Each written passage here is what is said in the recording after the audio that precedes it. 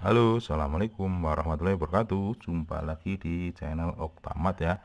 Di video ini kita akan membahas dimensi 3 Yaitu jarak titik M ke AG Oke, titik M ke AG dengan panjang rusuknya adalah 8 cm M di tengah-tengah EH Oke, simak sampai selesai biar dapat dan bermanfaat dan lebih paham Oke ya, sebelum kita mulai, simak dulu intronya.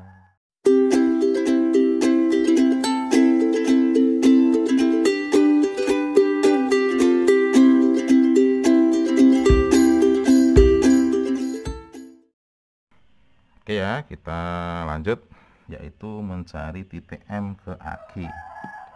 Langkah pertama yaitu tinggal kita gabungkan aja yaitu AG sama M kita gabung. Nah ini ya kita gabung dulu. Nah ini segitiga seperti apa? Nah kita gambar di luar. Nah kalau kita lihat di sini ini kan untuk mencari AM untuk mencari AM dan untuk mencari MG itu kan memerlukan rusuk sama setengah rusuk. Di sini juga rusuk sama setengah rusuk. Berarti M AM sama MG itu adalah panjangnya sama.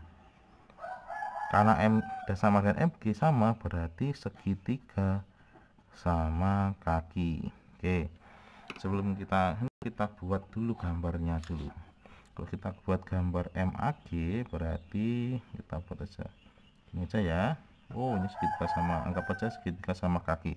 Sini adalah M sini adalah A dan sini adalah G di AG AG itu adalah diagonal ruang. Karena diagonal ruang berarti tinggal kamu tambahi 8 akar di 3 ya diagonal ruang 8 akar 3 diagonal sisi adalah 8 akar 2 kita cari MA dulu. MA di sini bisa kita buat dari segitiga siku-siku yaitu E MA EA nya EA adalah rusuk berarti 8 cm EM nya adalah 4 ya EM adalah 4 sehingga bisa kita jadi pakai Pitagoras maka AM adalah akar dari 8 kuadrat ditambah 4 kuadrat berarti akar dari 64 ditambah 16 yaitu akar 80 atau akar 16 kali 5 yaitu 4 akar 5 oke. Maka di sini sudah kita ketahui bahwa AM adalah 4 akar 5 di sini adalah 4 akar 5 dan sini 8 akar 3 Oke, kita lihat lagi pertanyaannya yaitu M ke AG berapa? Nah, M ke AG karena ini diagonal karena sama kaki kan tinggal kita tarik tegak lurus ke bawah. Nah berarti jarak anggap aja sini adalah O jarak OA dan OG otomatis ini adalah sama.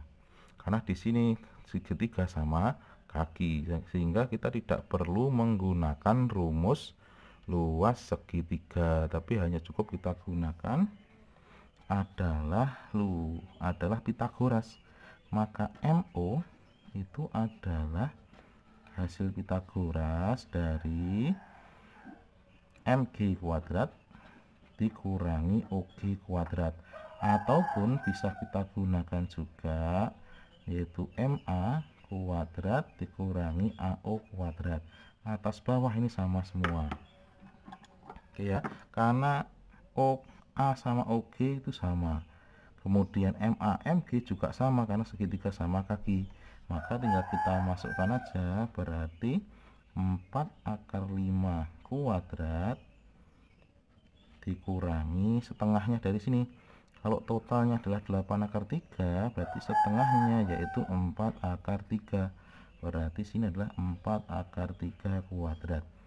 Berarti kalau kita lanjut berarti 16 kali 5 adalah 80 dikurangi 16 kali 3 adalah 48 sehingga kita cari ketemu 32 maka hasilnya adalah 16 kali 2 atau 4 akar 2 nah gitu. Oke ya tadi adalah mencari jarak M ke AG atau mencari jarak titik ke garis. Oke semoga bermanfaat.